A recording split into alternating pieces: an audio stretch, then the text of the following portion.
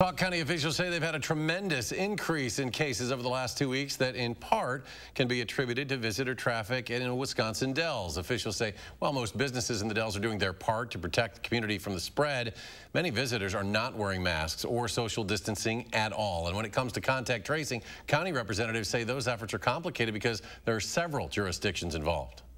For example, um, a, person from Illinois comes in uh, to the county and they go back to their home county and they get tested and they're found to be positive. Uh, the only way we're going to know that is if that county uh, contacts us and lets us know that there's a positive case that was wherever they were in Sauk County. He says those calls are happening across health departments, but the process takes more time. Right now, Sauk County doesn't have any mandates for masks or social distancing, but it's being discussed. County officials say they're focusing on educating the public, especially young people, about the seriousness of the pandemic and the importance of adhering to public safety recommendations.